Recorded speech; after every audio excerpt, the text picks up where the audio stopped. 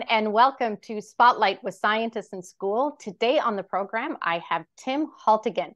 He is a senior mission scientist with the Canadian Space Agency. He is leading Canada's efforts on exploring our solar system. One might say that he spends a lot of time shooting lasers at asteroids. Sounds like a dream come true. Welcome to the show. Thank you so much. I'm so excited to be here. Yeah, this is it's going to be a great conversation. I have read so much about you, and one thing I love is that you describe yourself as a space nut. And it all began as a kid way back in the days when you lived in Saskatchewan. So tell me what it was like uh, growing up in Saskatchewan, looking up at the night sky and falling in love with space. Oh, for sure. No, it was it was really incredible. I mean, I I come from a really small town um, called Kenora, and in fact, I lived. My farm was about you know 15 miles outside of town, uh, the kind of place where you know my closest neighbor was three miles away, and that was my grandparents. Uh, so every night it was incredible because you know you you'd come home or you'd go outside, and and it was just this beautiful blanket of stars above you um, every night, and and so it just started as a kid. I would look up and wonder, you know, what's out there? How do people explore it? Um, what's going on? And it just, it was every night being surrounded by such wonder and mystery that, you know, naturally I got drawn to space. Of course. And you're kind of like the poster child, I would say, for follow your passion, because you were really intrigued about the night sky. Tell me about your journey from that to working right now for the Canadian Space Agency. Well, it certainly wasn't straightforward. um, never no, is. it's it, it, never is. No, it's uh, when I graduated from high school, I, I, knew that you know I wanted to be a scientist, but honestly, I didn't know what kind of scientist did space stuff, and and frankly, I don't think I even knew what a scientist was. I thought it was you know someone that just studies biology or, or chemistry or physics. And so when when I went into my undergraduate, I actually started in uh, biochemistry because I thought biology, chemistry, and physics were the only science subjects. And um, I did malaria research for a while, oh. uh, which was pretty neat. And then ended up switching when I did my master's degree. I switched gears entirely. Um, and I ended up doing uh, sort of a combination of civil engineering and ecology, trying to understand how we can build structures on the side of rivers in order to help trout habitats in agricultural areas. So complete shift. Wow. Um, yeah, and as I was doing my masters, uh, I, I met up with some friends who had entered a competition sponsored by the European Space Agency, and it was a challenge of designing a mission of, of how you could find ice under the ground on Mars. And when I was chatting with them, I said, "Listen, I don't know anything about this, uh, but I love space and I'm pretty good at PowerPoint presentations. So let me help out. so I joined the team and we ended up making it through round after round of selection. Eventually went to Barcelona for, for five days. Uh, we're finalists in this competition. And even though we didn't win, um, I learned a ton over the way. And, and when we got back, the professor that was helping sort of guide our work asked if I wanted to do a PhD on the subject. So I switched gears entirely again. Um, and my PhD was, I spent an awful lot of time in the high Arctic in Canada, uh, comparing the landscapes that we see in Canada with similar ones that we've seen on Mars. um, right. And it was through that I made some contacts with the Canadian Space Agency and eventually got hired there as a scientist. You know, that's really cool because I don't think a lot of kids realize that you can switch gears all the time. Like your paths constantly change, and that's okay. It's actually pretty exciting.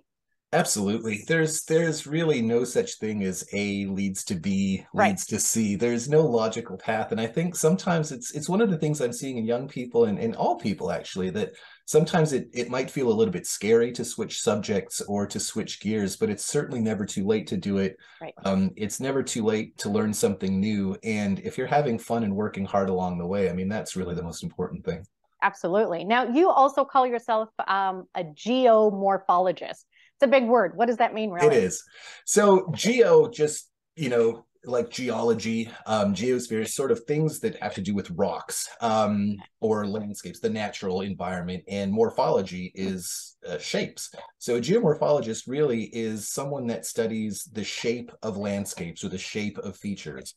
Um, and so both my master's and, and my PhD were the study of different shapes of things. So in, in my master's, it happened to be the shapes of rivers, um, both on the sides and on on the beds. And um, and for my for my phd and afterwards yeah it was it was the shape of landscapes so why do landscapes look the way they do on earth and why do they look the way they do on mars right. and what are the processes that that form them and are they the same on both planets or are they different and why okay so let's talk a little bit about um, outer space right now because i think the project that you're doing right now was so mind-blowing when i read about it so you are actually chasing asteroids or you're going to bring a piece of an asteroid back to earth which sounds mind boggling. And you describe an asteroid kind of like a cosmic time capsule. It kind of gives us a window into our past, which I loved reading that description. So um, before we get into asteroids, uh, or sorry, the project that you're doing, tell us first what an asteroid is. Sure. Um, so the way I like to describe asteroids um, is sort of like going back to the beginning of the solar system. So at the very beginning of the solar system, before there was a sun and before there were planets, there was just this big swirling disk of, of dust and, and, and gas. And little bits, little pieces of dust collided and, and some of them stuck together and, and made bigger bits. And then these bigger bits would collide with even bigger bits and form even larger bits and so on, so on, so on.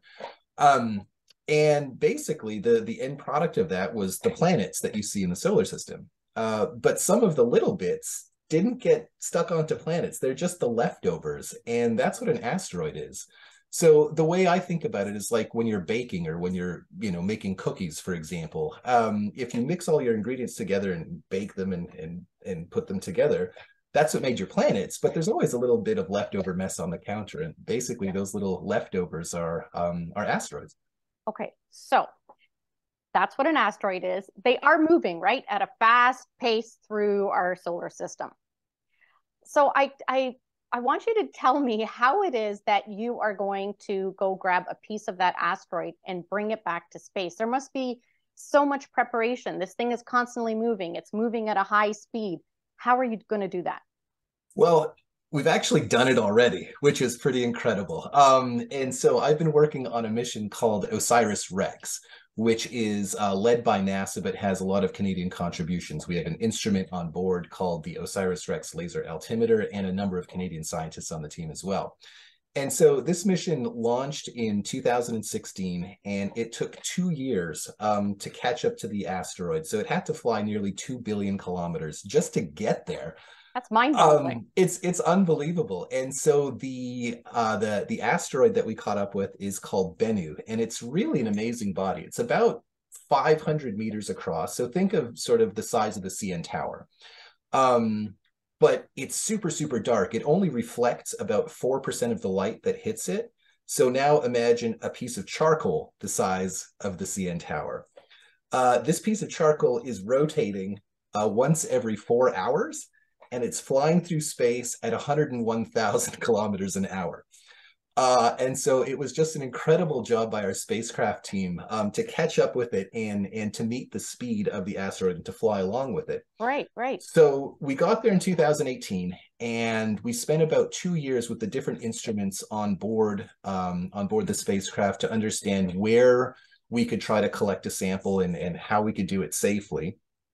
And finally, in 2020, uh, the amazing moment, the spacecraft slowly, slowly descended uh, down, extended an arm that's about 10 feet long. And at the end of it was a little sample container that sort of looks like the oil filter in your car. Okay. Uh, it slowly, very gently made contact with the surface and released a, a puff of nitrogen gas. And that puff of gas um, built up dust and small particles that were actually captured in this in this collection device. Uh, the spacecraft then backed out to a safe location. We inspected it, realized that we had collected sample, um, and stowed it back in in a capsule that's uh, that's on its way back to Earth. So, yeah, it um, it left Earth in or it left the asteroid in 2021 and right. is on its way back, and will be delivering the capsule uh, this September, which is incredible. So that everyone is incredible. Is amazingly excited. Okay, so you've you um, gone out there, you've got the sample. How big is the sample? Like, what are you bringing back? That's right. So uh, the largest particle that we collected is probably about two centimeters or so. Um, that's it. That's it. Well, it doesn't sound like an awful lot. That's the biggest particle. So in total, yeah. we have um, about roughly 400 grams is the estimate. We'll um, okay. we'll only know once we open the the container. But even though that doesn't sound like a whole lot, I mean, you can make entire careers on individual grains of this material. Ah. And so 400 grams is actually the largest return of any material back to Earth from anywhere in the solar system since the Apollo days, since they were bringing back kilograms of rock from the moon. And so, wow. you know, these these tablespoons of material that we're bringing back basically from the beginning of the solar system are going to pave the careers for for generations of scientists. So it's just it's incredibly exciting. Okay so that was one of my questions. If kids are watching this today there is a career they can be looking at this bennu for years to come right? Absolutely. We need them to. Um, yeah. if if you look back at, at the apollo missions you know astronauts haven't gone to the moon since since the 1970s um, but we're still making brand new discoveries on those rocks today, 50 years yeah. later, because we have instruments that just didn't exist before, right. and we know how to ask questions that we didn't know how to ask before. And so to me, the OSIRIS REx mission is not only about, you know, what is the science that we can do in, you know, this fall in, in 2023 or in 2033, but what kind of science are we going to be able to do in 2053? In 2063 wow. um yeah. and so you know there's there's students in in high school and grade school and kindergarten and preschool and people that haven't even been born yet that are going to be making the incredible discoveries on on these materials and so that's one of the reasons I'm, I'm so i'm so proud to be part of it that is really exciting when you put it that way that this is something that can be studied for years to come and that some yeah and it's all about asking questions. It always goes back to that. It's always about being curious. Um, i want to ask you why bennu though? There's so many asteroids out there. Why did you pick that one?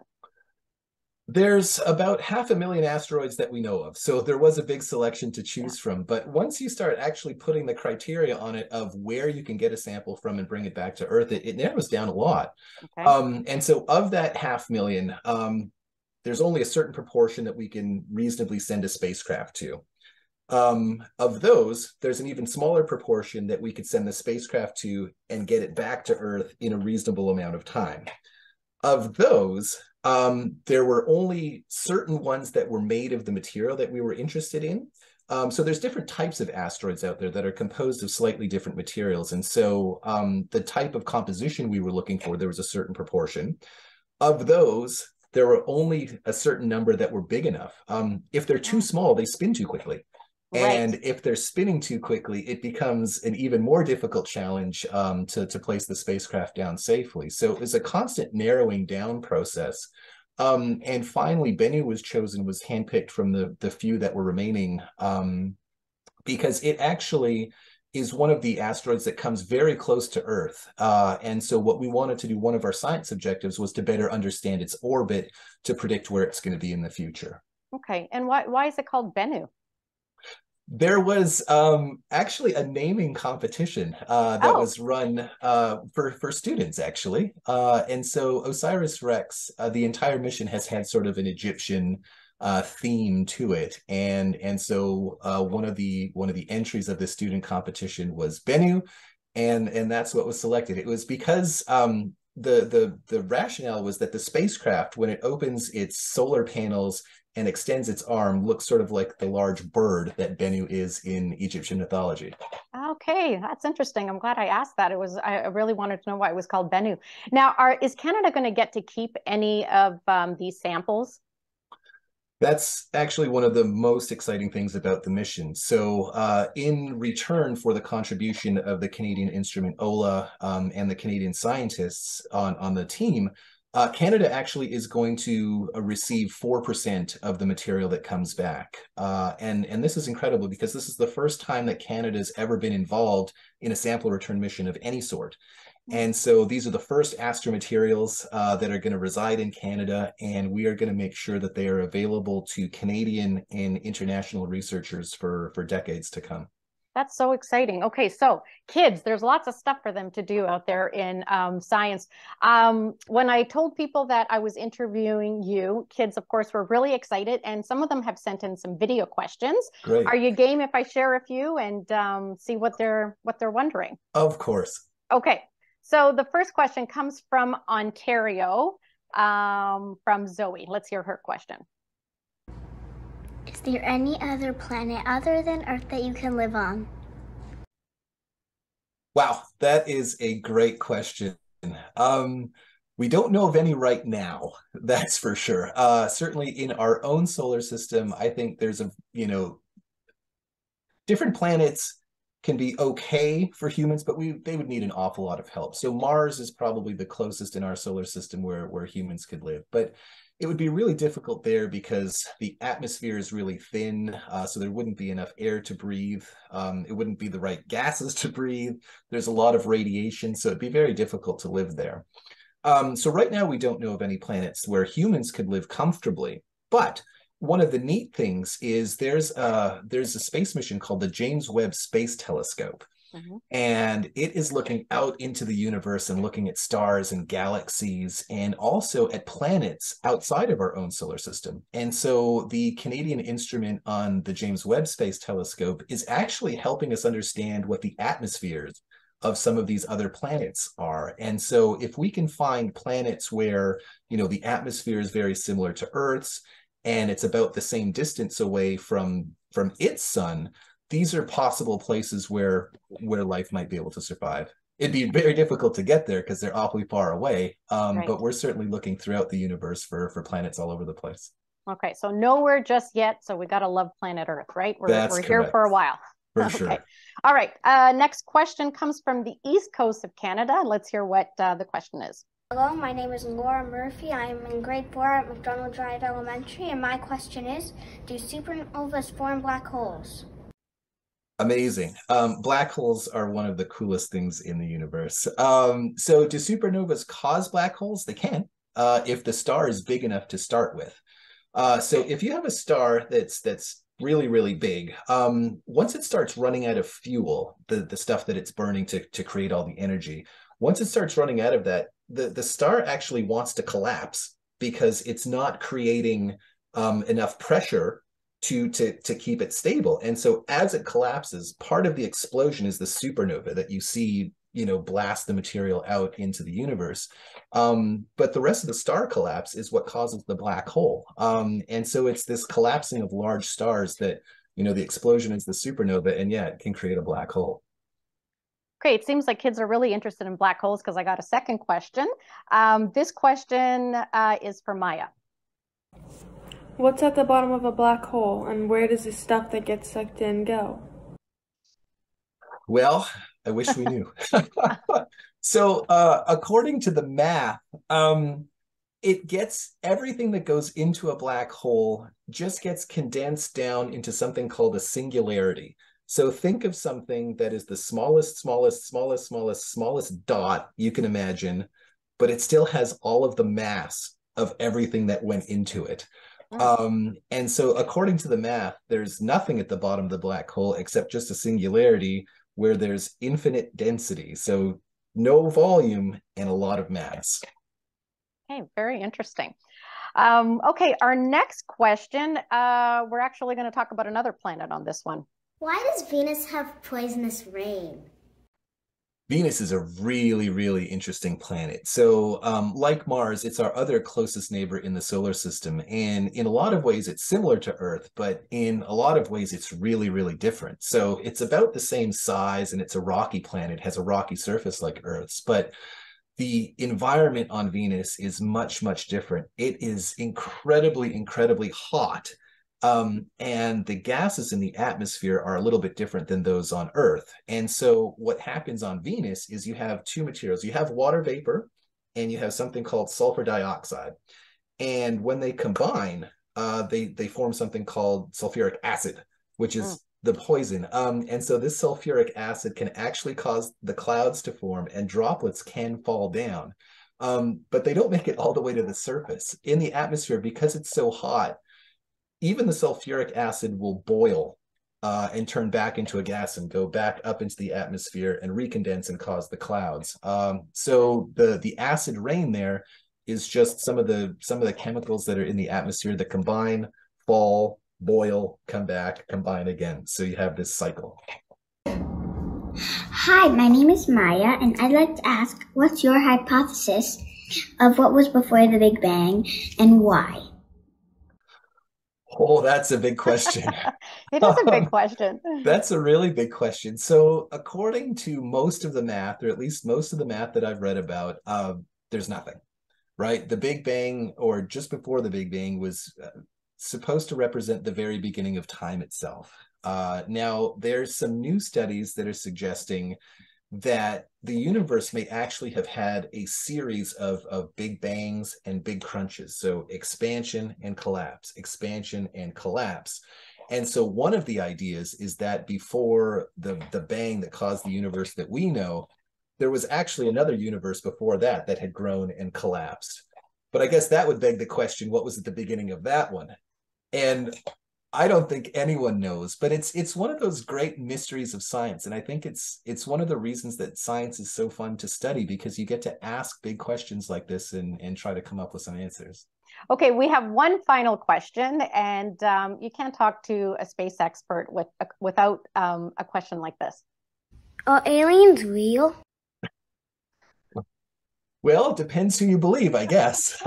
um, so I've never met one. Um, I've never seen one, and so I don't know. Are, are there little green men flying around saucers with laser guns? Who knows? I mean, the universe is a is a really really big place. Um, but one of the things we are trying to do as planetary scientists is is really trying to understand, you know, what is the origin of life? Where did it come from? And could life have started in other places? And so, one of the things we're doing in our own solar system, for example, is sending missions to Mars to understand what the climate used to be like on Mars. Mars is a terrible place right now, right? We talked about it. There's lots of radiation, there's no liquid water at the surface, the atmosphere is really, really thin. So, it's not a great place to live now. But if you go back about three and a half or four billion years, Mars was a lot more like Earth. The atmosphere was thicker. Um, it was protected uh, from a lot of the radiation by its magnetic field and there was a lot of liquid water at the surface. And so the conditions were actually right for life potentially to have formed. And so one of the missions we're working on now is Mars sample return, which is instead of bringing rocks back from an asteroid, we're actually right. trying to bring rocks back from Mars to answer those types of questions. And so in 2033 is the plan right now. Uh, we'll be getting some samples back from Mars that we might be able to look for for signs of, of ancient life. I don't think like I said, it won't be a zebra walking around or something like that. But even something as simple as evidence of, of a bacterium or a single right. cell um, would be profound because it would show that life can form on other planets. So, do we know of aliens now? I don't know, but I guess in a way we're we're looking for them. Perfect. That's so great. Thanks to all the kids who took the time to send in those video questions. Um, Tim, you were previously in the running to becoming Canada's next astronaut why did you want to become an astronaut? Or why, why not, maybe? Why wouldn't you? exactly. No, it was I well, I think again, this sort of goes back to um to when I was a kid, right? It was, you know, just just always being so curious as to what was out there and, and how you could go out and come close to touching it. And so, you know, I told myself at a young age, I'm either going to be an astronaut or a major league baseball shortstop. Um, now, neither of those ended up happening, um, but it was a really neat experience. Uh, back during the last astronaut selection, um, I was fortunate to make it through a number of rounds and um, unfortunately didn't get it. But I think Canada did a great job selecting Josh Kutryk and, and Jenni Sidey Gibbons. They're both wonderful ambassadors for Canada. And honestly, my job is still pretty cool. So uh, yes, it is very, very cool. Now, would you say that you're still as curious now as an adult as you were when you were a kid? Oh, for sure. Um, you you have to be. Um, I I I still get the jitters getting into work every day and you know like every job there's there's frustrations and there's challenges and and there's all sorts of things but at the end of the day i catch myself sometimes just saying the sentences out loud of what it is we're actually working on and, and how we're trying to do it and um, it, it always brings a smile to my face and and it always keeps me going. Isn't that great to have a smile on your face when you think about work? I think that's pretty incredible. It really is. No it's and a lot of the times it doesn't feel like work. I mean just getting to ask some of these questions and, and work on some of these projects um, is really it was it was my dream as a kid and and right. i'm doing it now. yeah pretty incredible. Um, Tim, I've interviewed uh, a few other um, space nuts, um, and I always ask this, and it's really right now three to nothing. I'm going to ask you too. Are you a Star Wars or Star Trek fan? Wow. Now, this was the subject of serious debate at the dinner table in my house. Um, but it I is will, in this house too. This is I, why I'm asking. Absolutely. Um, but I will always acknowledge my first love, which is Star Wars. Wow, you're the first one to say Star Wars. Absolutely. No, I still remember um, seeing Return of the Jedi in theaters and walking out and just pretending I had my own lightsaber. Oh no, absolutely. That's awesome. I just can't thank you enough for stopping by and uh, sharing your passion and your job with us. Thank you so much. Oh, thank you so much. It was it was great to be here today. Thank you. Thank you.